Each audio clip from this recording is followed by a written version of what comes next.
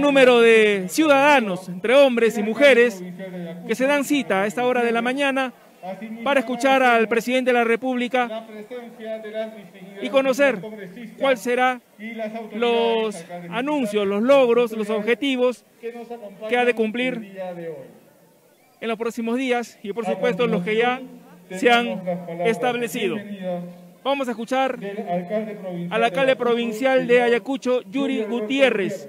Serán los primeros 100 días de gobierno, el 6% de un mandato de cuatro años.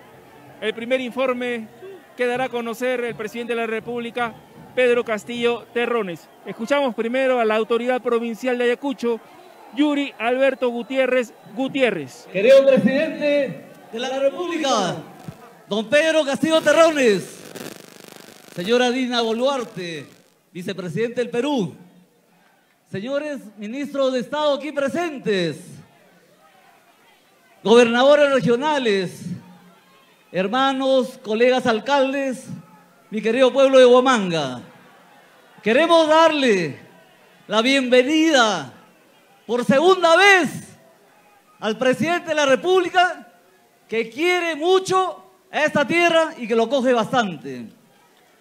En esta tierra, querido presidente, del cielo azul, de la cultura radiante, de la artesanía y la tierra de la independencia.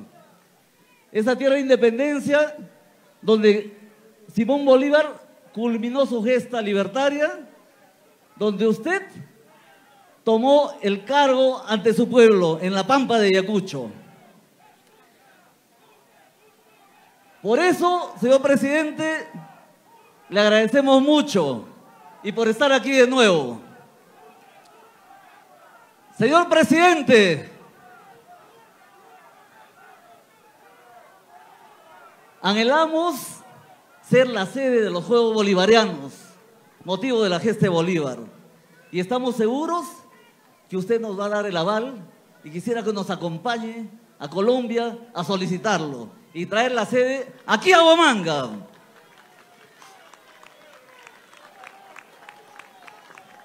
Se cumplirán tres años, en tres años el bicentenario de la batalla de Ayacucho y sabemos que el gobierno la reivindicará auguramos éxitos en su gestión y pedimos a todos los peruanos unidad para lograrlo. Muchas gracias.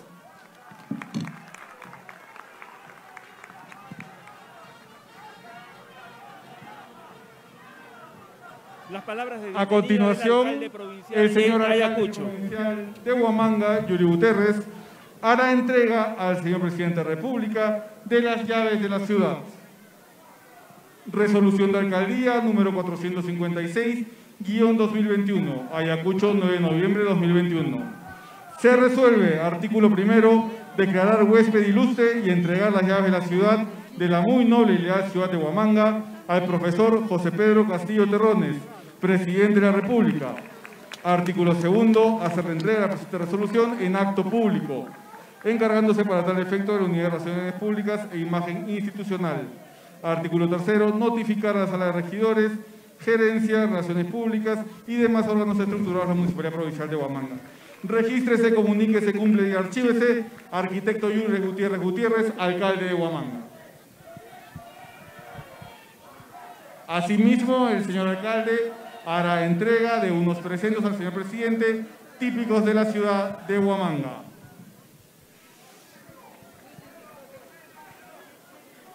actividad que se desarrolla en la Plaza de Armas de Huamanga. Se le obsequia un presente al mandatario Pedro Castillo, antes se le entregó las llaves de la ciudad, la cual ha sido visitada hasta en tres oportunidades por el actual eh, presidente de la República.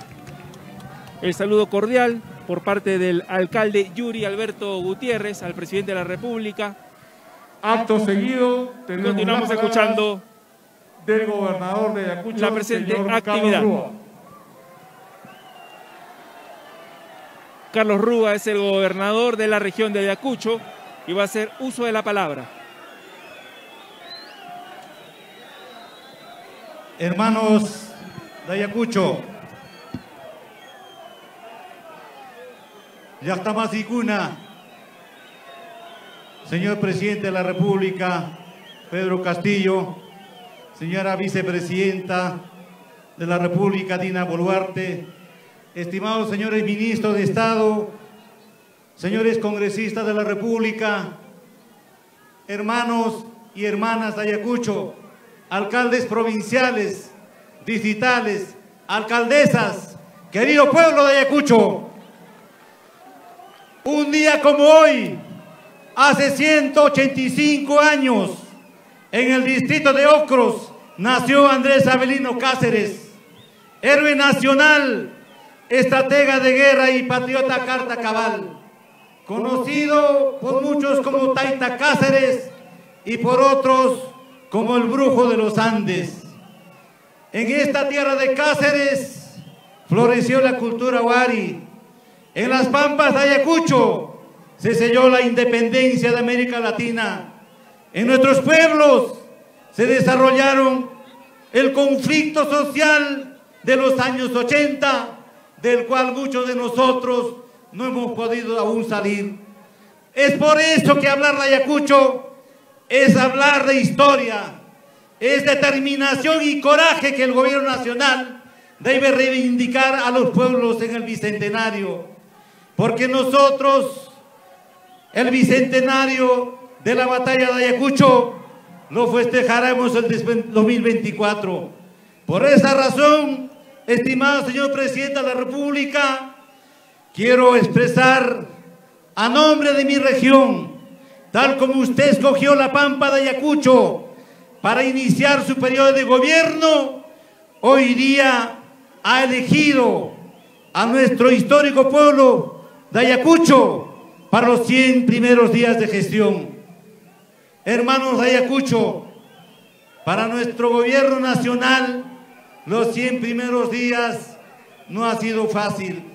Por eso, desde la Asamblea Nacional de Gobiernos Regionales, hemos priorizado, estimado señor presidente, la construcción de proyectos de inversión pública, hospitales a nivel nacional, las cuales estaban con convenios suscritos. Asimismo también lo que es la hoja de ruta de la descentralización, la sobreposición de funciones que hoy en día tenemos desde los alcaldes digitales provinciales y los mismos gobiernos regionales. Y estoy convencido, señor presidente, que en ese proceso usted nos ha dado todo el apoyo necesario, hay una voluntad política y de seguro de aquí para adelante usted mirará a las regiones del país que durante las elecciones se han puesto de pie como hoy día están aquí para una reivindicación. Como gobernador regional de este pueblo, pedirle, presidente, la masificación del gas para Ayacucho. Ayacucho tiene la válvula unos kilómetros acá, atrás kilómetros. Por eso, a nombre de nuestro querido pueblo de Ayacucho, estimado señor presidente, que estos 100 días de gobierno sea un mensaje alentador para que Huamanga, Huanta y otras provincias tengamos el gas. Asimismo también el Hospital del Bicentenario, que tiene ya convenio suscrito y estoy convencido que nuestro ministro de Salud, que está aquí, nuestro ministro Ceballos, nos apoyará para nuestro Hospital Bicentenario y también para el Hospital de Puquio, Lucanas, en el sur de Ayacucho, estimado señor presidente de la República. Agua para la agricultura.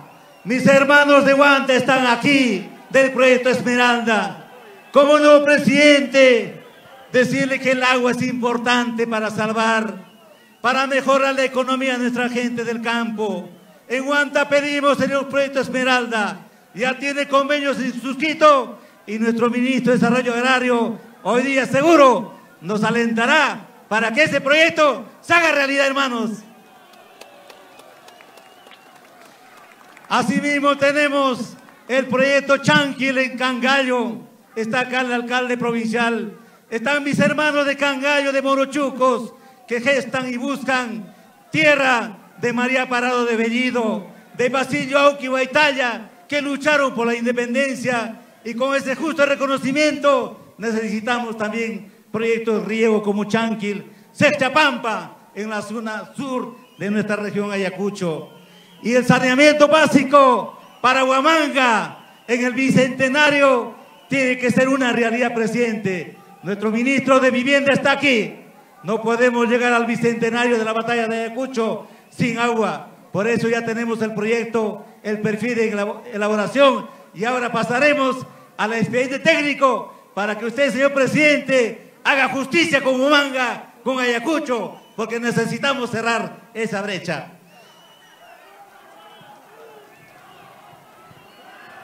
Así mismo, presidente, están mis hermanos alcaldes y pobladores del sur de Ayacucho. Los conflictos sociales tenemos que atenderlo.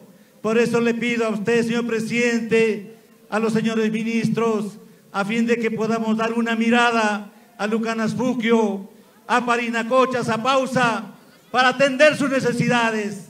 Está el pedido y seguramente nuestros hermanos del sur tienen esa esperanza de nuestro presidente Castillo para que de esta manera se pueda tranquilizar nuestra población del sur de Ayacucho. Postulamos a los bolivarianos, presidente. Ya le dije en varias oportunidades, haga presidente de Ayacucho sea sede de los bolivarianos en los 200 años de la batalla de Ayacucho. Déjanos ese gesto, presidente. Asimismo también, presidente, Ayacucho rico. Muchos decimos que somos pobres, tenemos riqueza cultural, tenemos riqueza turística, como los valles Ondondo, donde están nuestros cóndores, nuestras vicuñas. Asimismo tenemos nuestro Huari, Vilcasguamán. Y el turismo, estimado señor ministro, hay que enfocar, hay que apoyar.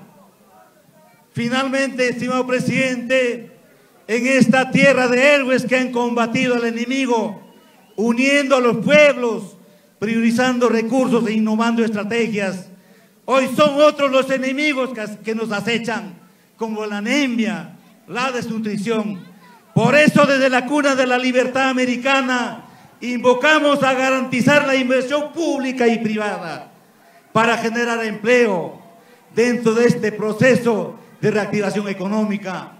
Hago un llamado a la unidad nacional donde todos los actores involucrados, Ejecutivo Nacional, Legislativo, gobiernos regionales y gobiernos locales, empresas privadas, universidades y la sociedad civil nos comprometamos a trabajar y recorrer un nuevo camino cuyo destino sea una nación próspera, justa y con oportunidad para todos. ¡Viva Ayacucho! ¡Viva el Perú! Muchas gracias.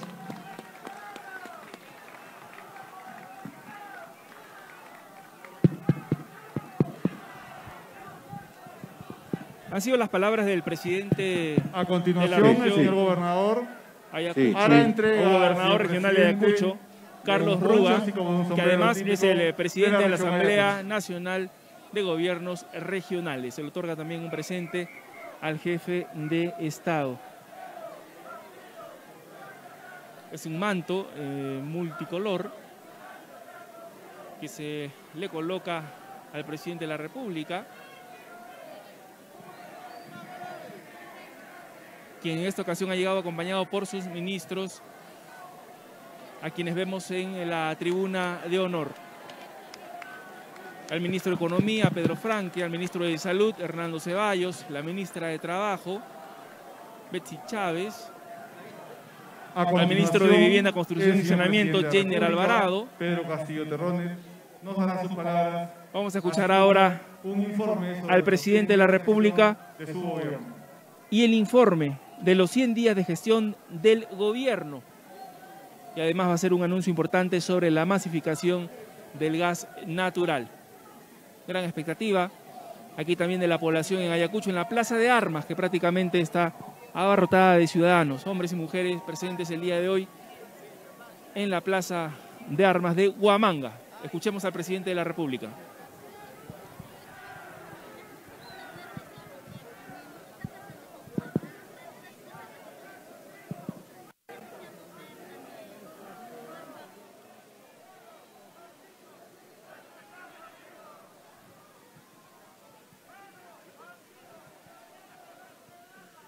Vengan todos a ver. Vengan todos a ver. Ahí vamos a ver. La plazuela de guanta, amarillito, flor de retama. Amarillito, amarillán. Muchas gracias. Muchas gracias, pueblo. Señores congresistas de la República,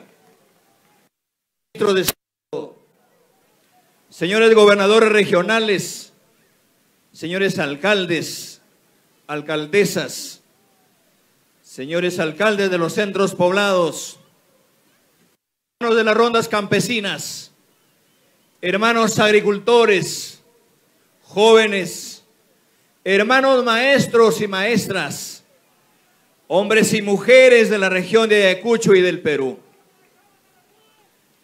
Una vez más, vengo a esta tierra histórica de Ayacucho, porque el que nada debe, nada teme, porque representa esta tierra el esfuerzo, la valentía y el coraje de un pueblo, porque aquí, el 9 de diciembre de 1824, se selló la independencia del Perú y América. En aquel año, mientras yo nacía, en el año, en el año 69, este pueblo se fajó por la gratuidad de la enseñanza. Y por eso me embarga este sentimiento y por eso vengo aquí. Y por eso estamos acá, no solamente para recordar la historia, sino para seguir haciendo historia como hombres del pueblo.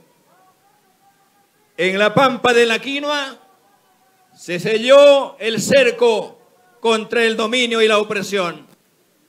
Se demostró que nada es imposible cuando un pueblo quiere forjar su propio destino.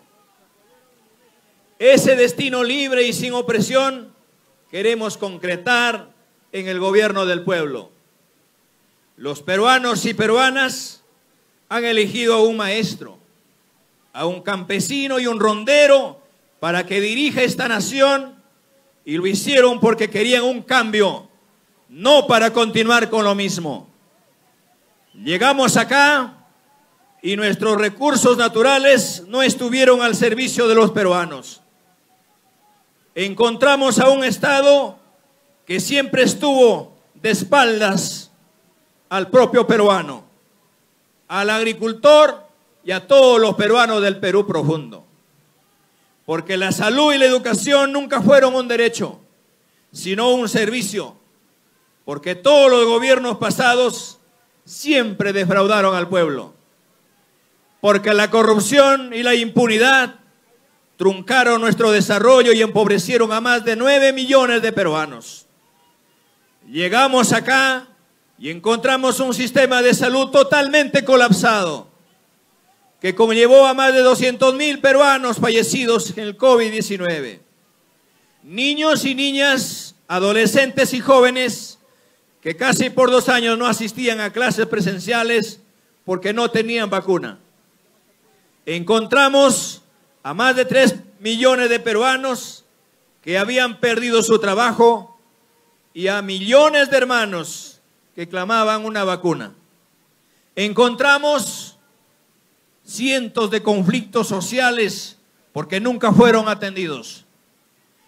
Pueblos olvidados que no tienen agua ni luz. Escuelas y hospitales destrozados. Postas de salud en completo abandono. Miles de peruanos en situación de analfabetismo y desnutrición. Una grave crisis por grandes actos de corrupción graves problemas de inseguridad, graves problemas de delincuencia común, el sicariato, la trata de personas y el narcotráfico. Un país endeudado con el capital internacional. Este es el país que hemos encontrado. Ese es el país que hemos recibido. Desde el primer día que nos, hemos puesto a trabajar, y puedo decir que hemos logrado cosas muy importantes en estos 100 días, Sin embargo, con poca vergüenza, un sector me dicen que no he hecho nada. Si ellos en 200 años se dedicaron a, a robarle a nuestro país, si en 5 o 10 años de gobierno no hicieron nada por la patria, hoy quieren que un campesino entre al gobierno y le exijan que en 100 días resuelva los problemas del país. Mi gobierno tiene un rumbo claro que está establecido en la política general del gobierno, con ejes y lineamientos claros para transformar nuestra patria. Con muchos de ustedes, desde como muchos de ustedes, desde niño, he trabajado para ganarme con el pan, con el sudor de nuestra frente. Por eso, siempre he vivido con dignidad. Yo tengo una línea clara impuesta por el pueblo. Estamos realizando cambios estructurales en el Estado para que éste llegue a los que menos tienen. A mí nadie me pone la agenda. Yo no tengo jefes. Mi único jefe es el pueblo. Por ustedes estoy acá. También desde la campaña y al iniciar este gobierno, me decían comunista y que le voy a quitar sus propiedades. Yo pregunto, ¿han pasado 100 días de mi gobierno? ¿A alguien le he quitado sus casas o sus ahorros? ¿A alguien le he expropiado? Puras mentiras. Desde esta plaza histórica hago un llamado a los empresarios a que inviertan en nuestra patria y vengan para generar empleo para nuestra gente, con respeto y trato digno a los trabajadores del país. Cada vez que hablo de renegociar un contrato, al día siguiente algunos sectores se escandalizan y me dicen radical. Sube el dólar, suben los precios, y dicen que por culpa, del, por culpa de Castillo. Lo que en el fondo quieren es que nada cambie, que todo siga igual. En el gobierno del pueblo las cosas van a cambiar. Por eso hoy con orgullo puedo anunciar logros importantes de, de los 100 días que han transcurrido. Sobre el gas, hoy junto al pueblo Iniciamos la masificación del gas para todos los peruanos.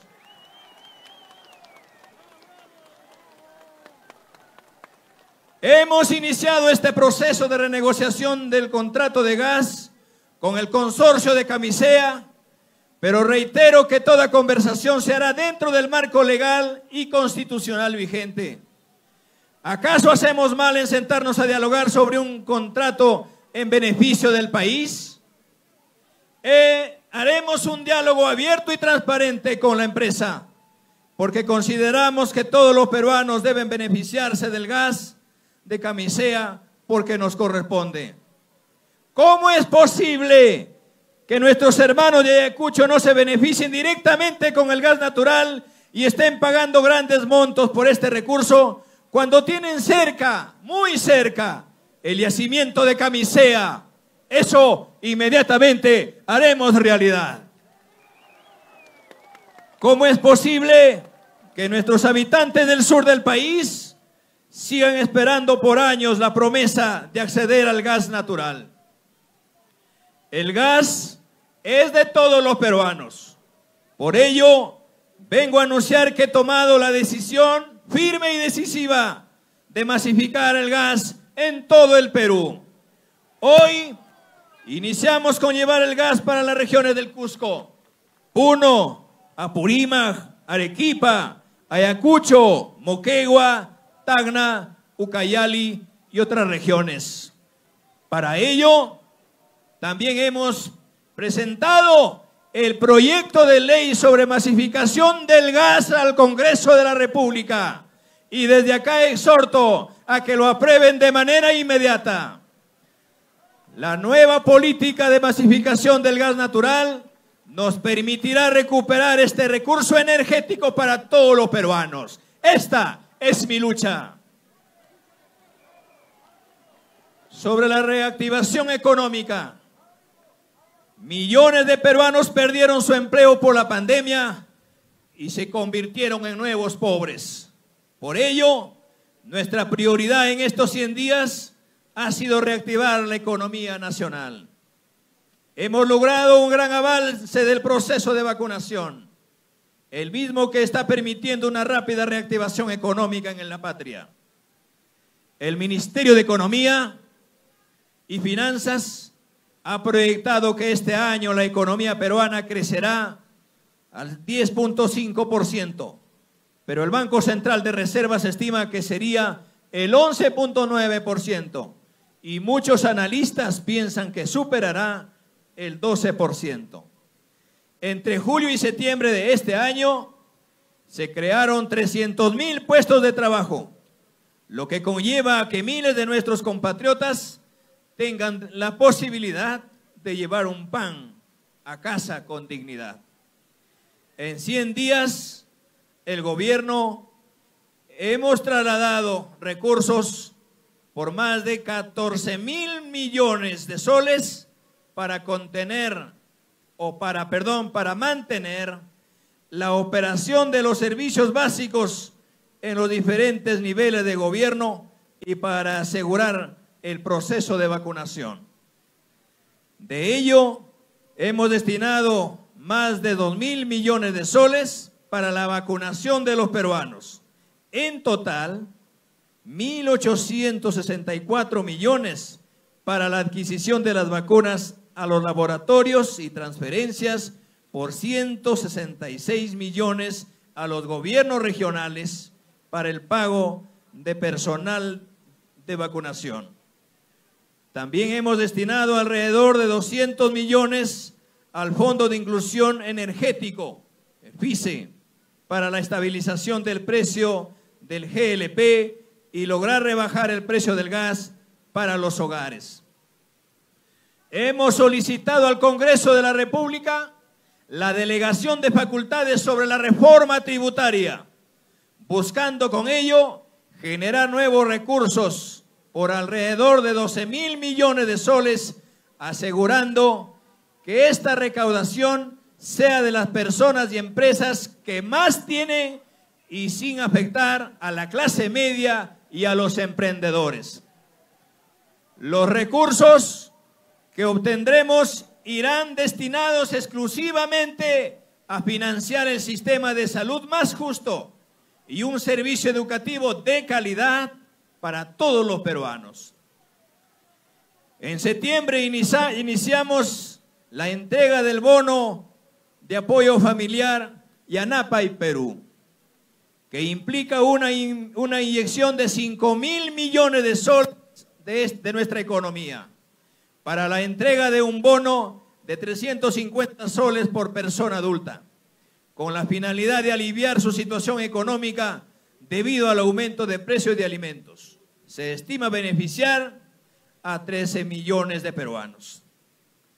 Hemos iniciado el destrave de, de los grandes proyectos de inversión pública como el Hospital 3.1 de Lorena en el Cusco, hospital que actualmente tiene una inversión de 749 millones de soles.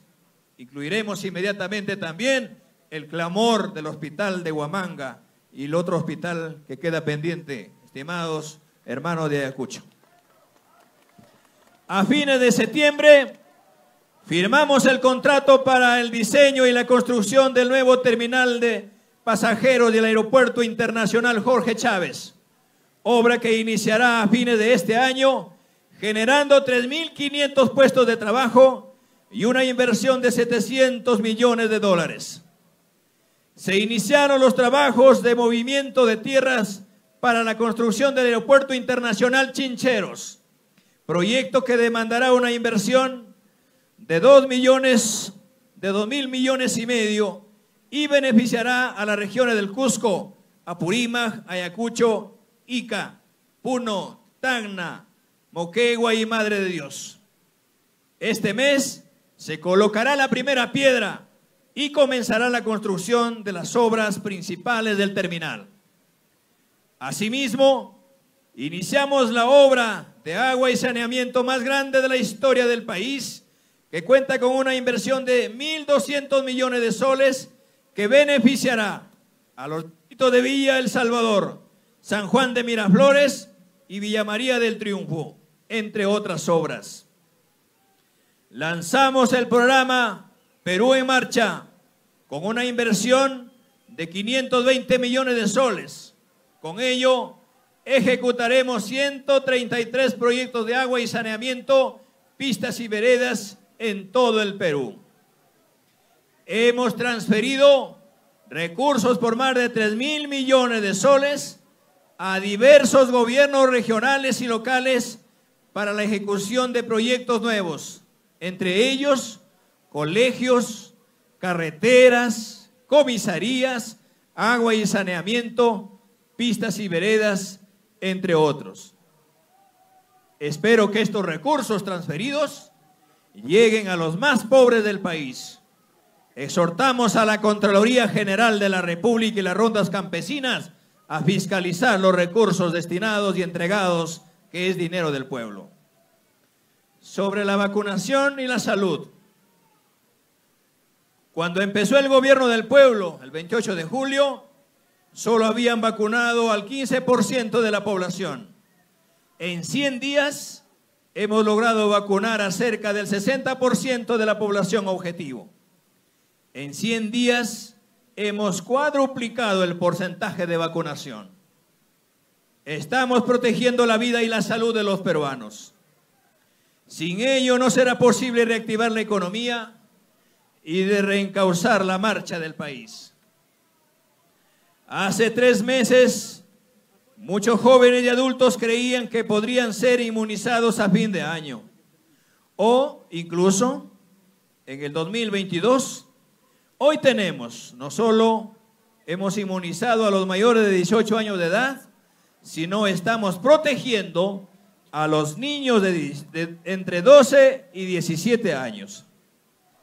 Más de 660 mil 200 más de 660 mil docentes con vacunación completa, 217 mil trabajadores de la, de la salud con tercera dosis e inicio de tercera dosis a mayores de 65 años eh, y personas con comorbilidades. Tenemos contratos para la provisión oportuna de más de 138 millones de dosis de vacuna para COVID-19. Al concluir este año, habrán ingresado a nuestro país 75 millones de dosis y cerca de 66 millones se entregarán en el 2022. De esta manera, aseguramos la protección de todos los peruanos y lograremos contener la enfermedad. Más de un millón de pruebas moleculares realizadas, superando la meta de 10 mil pruebas moleculares diarias adquisición de 12 millones de metros cúbicos de oxígeno medicinal líquido y gaseoso para asegurar el abastecimiento de este recurso estratégico en salud, incluyendo la adquisición de 64 nuevas plantas de oxígeno y tres plantas criogénicas. Contratación de más de 55 mil profesionales y técnicos de la salud en las modalidades de servicios complementarios en salud y prestaciones adicionales en salud, incluyendo la reapertura del primer nivel de atención con 2.400 centros de salud operativos y más de 200.000 comités comunitarios anti-COVID que fortalecen la participación social. Movilización de más de 3 mil millones de soles para financiar el plan de posible tercera ola del COVID-19. La segunda reforma agraria. Viví, pude educarme y gracias a ese esfuerzo llegué a ser maestro gracias a la agricultura. Por ello, con la experiencia vivida, hemos iniciado la segunda reforma agraria. El Estado no puede estar más de espaldas al Perú profundo. La agricultura sobre todo la pequeña agricultura de subsistencia, ha sido históricamente olvidada y postergada en el país. Por eso, cumpliendo uno de los compromisos asumidos con el pueblo peruano, lanzamos desde la fortaleza de Sacsayhuamán en el Cusco la segunda reforma agraria, que no significa expropiación ni confiscación, sino acciones concretas en favor de la agricultura. En las próximas semanas y meses Daremos un nuevo impulso a la conectividad rural, acceso a créditos, apoyo técnico, compras públicas de alimentos, siembra y cosechas de agua, Fondo de la Mujer Rural, entre otros. Vamos a reivindicar a más de dos millones de hombres y mujeres del campo y colocar a la agricultura en el sitial que le corresponde. A nuestros agricultores les informo que vamos a lanzar un programa de bonos y reintegro por la compra de fertilizantes como medida extraordinaria para reducir el impacto negativo en la economía de los productores agrarios de la agricultura familiar con un presupuesto de 300 millones de soles. Aprobamos más de 83 mil créditos en favor de los pequeños productores agrarios por un monto total de 967 millones de soles, los que han permitido continuar reactivando la economía rural y asegurando la presente campaña agrícola. Transferimos 400 millones de soles del Fondo Agroperú al Agrobanco para cubrir la demanda de productores en el año 2021. Están en construcción 200 cochas, así como 400 kilómetros de zanja de infiltración en beneficio de 5.614 familias, logrando almacenar más de 6 millones de metros cúbicos para un área de cultivos de 1.950 dedicadas a la agricultura familiar. En cuanto a la educación, un maestro de escuela conoce la realidad educativa de su país. Por ello, mi compromiso con todos los peruanos para que todos reciban una educación de calidad.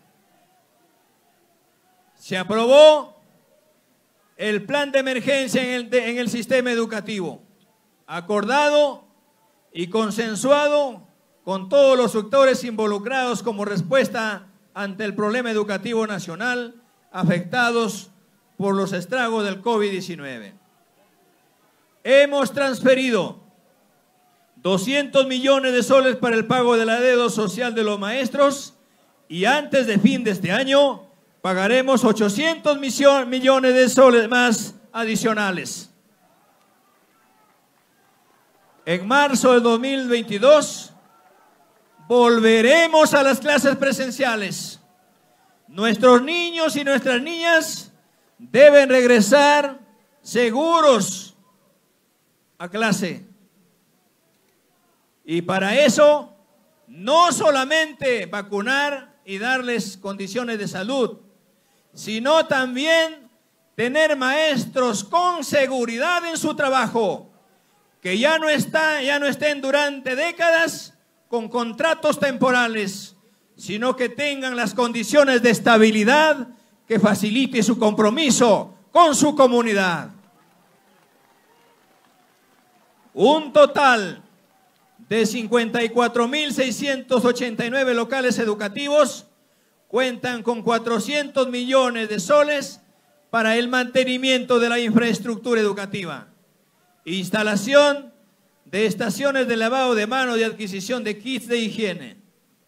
Se inició la distribución de materiales y recursos educativos para el año 2022 en español y por primera vez en, en 41 lenguas originarias que beneficiarán a más de 6 millones de escolares de 77.326 colegios públicos, con una inversión de 183 millones de soles. Están en marcha 91 inversiones de infraestructura educativa ejecutadas por los gobiernos regionales y locales.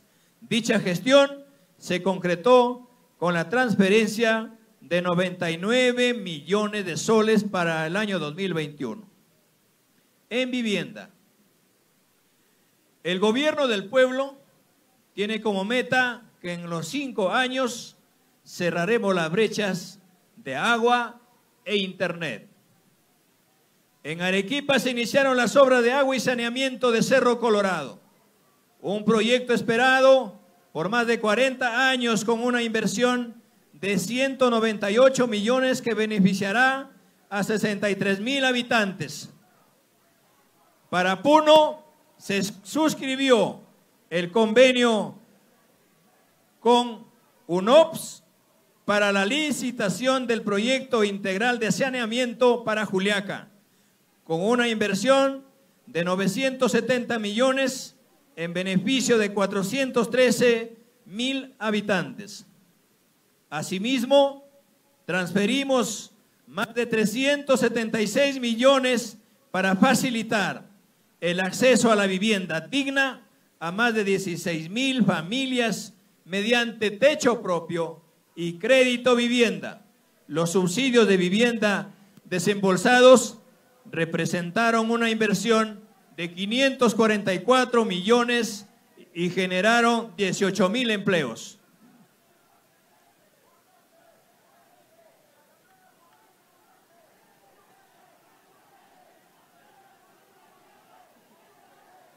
La patria no se vende, la patria se defiende más familias protegidas ante heladas y friaje. Para ello, construimos 2.646 viviendas bioclimáticas Sumac-Huasi para proteger de las heladas y el friaje a las familias menos favorecidas de las zonas rurales. En estas viviendas se han invertido 72 millones y, y beneficiarán a 10.600 habitantes. Trabajo. Miles de trabajadores explotados.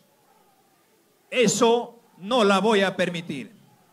Por ello, se derogó la suspensión perfecta de labores que afectaba a miles de nuestros hermanos trabajadores. A partir de diciembre, Ningún trabajador formal ganará menos de mil soles mensuales hasta aumentar el sueldo mínimo. Más de 100 mil trabajadores en situación de informalidad fueron incorporados en la planilla electrónica a través del sistema de inspección del trabajo. Estas inclusiones en la planilla de las empresas de la actividad privada impactan en más de 400 mil personas medidas de austeridad. Desde que ingresé al gobierno he podido observar que muchos funcionarios públicos tienen muchos privilegios. Por ello, anuncio que hoy, ahora mismo, voy a firmar una norma que prohíba que ningún funcionario viajará vía aérea en primera línea. En un gobierno del pueblo, los funcionarios viajarán como cualquier ciudadano de la patria.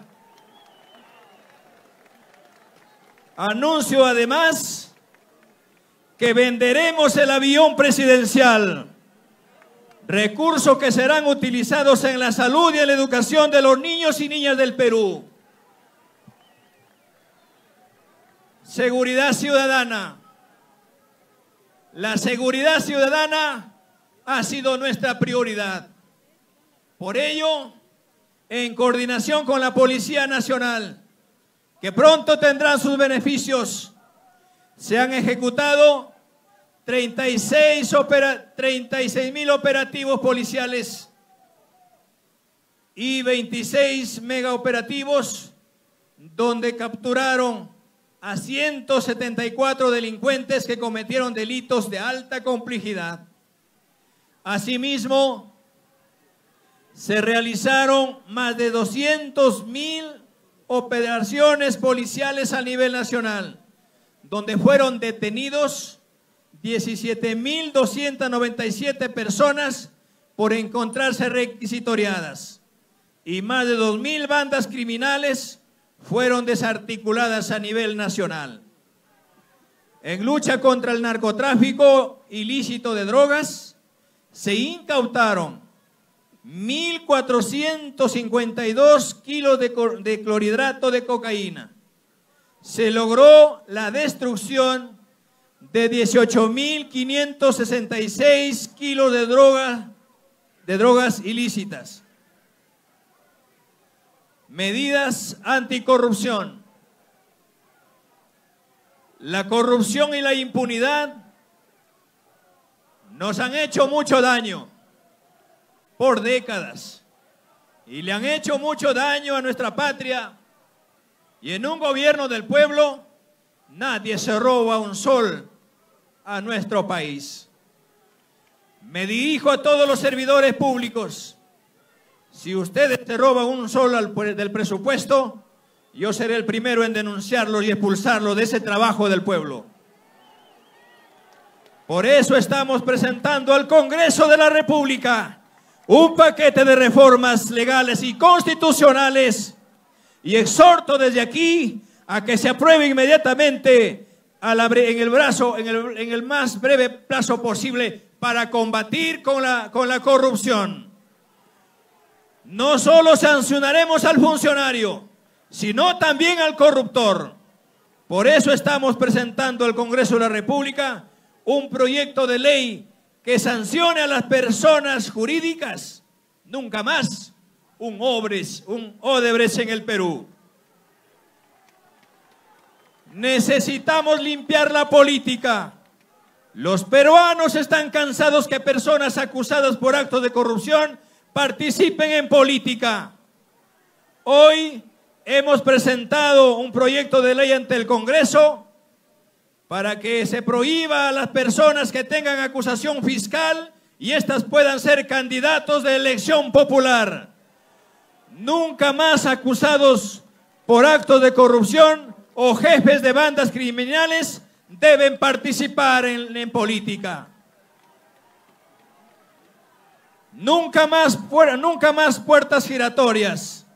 Existe la mala costumbre del más vivo que entra al Estado para ocupar un puesto, para velar por sus intereses particulares.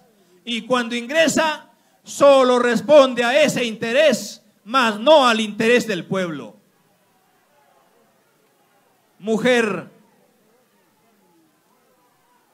mi reconocimiento a la mujer peruana ha dado ejemplo de lucha en esta pandemia. Las mujeres juegan un rol fundamental en la sociedad. Por ello hemos creado el programa nacional Mujeres Emprendedoras, que fortalecerá las capacidades de sus usuarias para incorporarse en el mercado financiero formal e impactará positivamente en su autonomía económica. Hasta hoy se han conformado redes de mujeres emprendedoras y empresarias en las 25 regiones del país y en Lima Metropolitana. Hemos aprobado dos proyectos de ley en beneficio de la mujer, niñas y niños en situación de orfandad. Desde acá exhorto al Congreso de la República a aprobarla inmediatamente. Cobro de deudas. Es urgente que las deudas históricas sean canceladas en favor de todos los peruanos. El Estado tiene deudas por cobrar por más de 20 años. Solamente las 100 primeras grandes empresas deben 30 mil millones de soles al Estado. Pregunto, ¿por qué los anteriores gobiernos no han podido cobrarlas? Lo haremos realidad esta tarea por encargo del pueblo. Por ello, hemos conformado una comisión de alto nivel, de alto nivel para iniciar el proceso de diálogo directo con las empresas para cobrar dichas deudas que por décadas no han sido canceladas. Asimismo, saludamos el reciente fallo del Tribunal Constitucional a favor del Estado. Descentralización.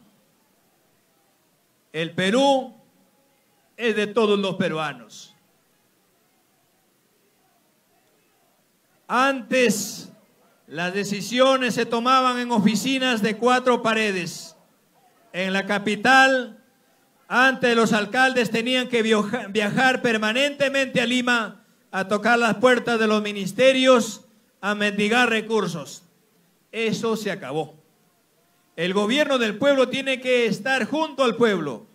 Llegaremos a cada rincón del país, ustedes los alcaldes y los, gobiernos y los gobernadores regionales no tienen necesidad de ir hasta Lima. Nosotros iremos a los lugares más lejanos. Por ello hoy anuncio el plan Llegando a mi pueblo, mediante el cual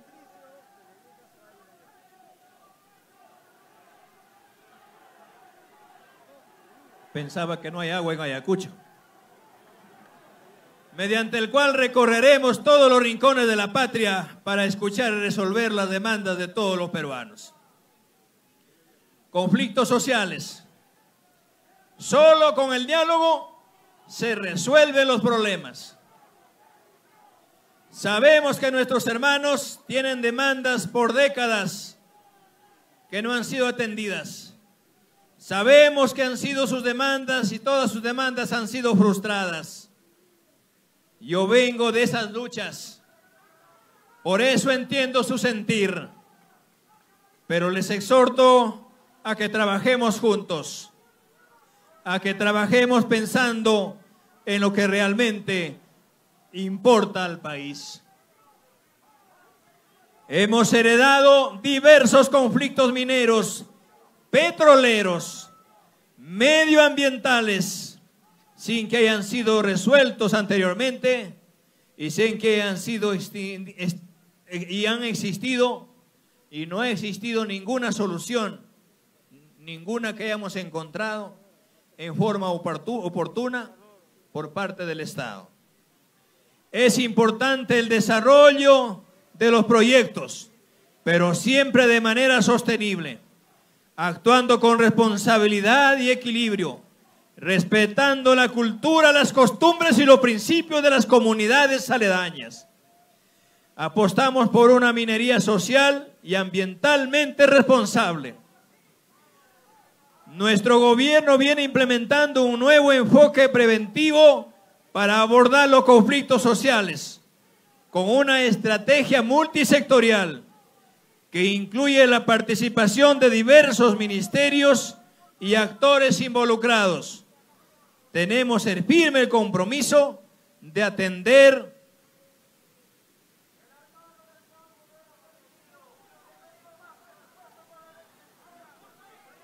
de atenderlo progresivamente las justas demandas de la población. Ellos nos han permitido en los últimos días instalar mesas de diálogo en Apurímac, Puno, Ayacucho y en la región de Ancash. Jamás estaremos en contra del pueblo. Hermanas y hermanos, creo importante manifestarles lo de la Asamblea Nacional Constituyente, que es un grito popular. Lo dijimos ante el Congreso de la República. Y hoy esta instancia del pueblo y el pueblo organizado tendrá que asumir ya su propio camino. Queridos compatriotas del pueblo peruano, estas son algunas de las acciones que venimos desarrollando para cumplir los objetivos del cambio trazados por nuestro gobierno. Los asuntos políticos y la confrontación impidieron mostrar nuestros logros. Por ello, con el fin de ampliar y complementar el balance de los 100 primeros días, a partir de la semana y en cada mañana, hoy tendremos presente el accionar de descentralizar y viajar inmediatamente a los pueblos para su atención. a partir de mañana, cada uno de nuestros ministros realizará el balance de sus respectivos sectores y no tenemos que permitir callar al pueblo. Exhorto desde aquí en esta plaza histórica que nuestros ministros están en constante evaluación. Ministro que no trabaja, funcionario que no trabaje, tendrá que ir a su casa. Así como hace 200 años, nuestros valientes héroes lucharon por la libertad y la independencia, hoy los peruanos libramos otra gran batalla, lideramos una gran batalla. Esta vez para liberarnos de otros flagelos. La pobreza, la corrupción, la desigualdad, la marginación, la discriminación que tanto daño le hace a, nuestra patria. Desde Ayacucho, convoco a todos los hombres y mujeres de esta patria, sin distingos de ninguna naturaleza, a los poderes e instituciones del Estado, a las fuerzas políticas, a los empresarios, a los trabajadores, para decirles que ahora es el tiempo de la reconstrucción nacional. Esta es una tarea que nos compromete a todos. Como decían nuestros antepasados quechuas, antes de emprender una gran tarea, Huk Umaya, Huk Hunsunquilla y Huk Maquilla, una sola fuerza, un solo corazón y una sola dirección que es la dirección del progreso y la justicia social para todos los peruanos. ¡Viva Ayacucho! ¡Viva el Perú! Muchas gracias al pueblo peruano. Bien, ha sido entonces las palabras del presidente de la República, Pedro Castillo Terrones, quien ha dado cuenta un informe detallado de los 100 primeros días de gestión en el actual gobierno y también un anuncio importante sobre la masificación del gas natural, ceremonia que se desarrolló en la Plaza de Armas de la ciudad de Huamanga. Retornamos con más actividades del jefe de Estado que permanece todavía en esta región. Retornamos a Estudios Centrales.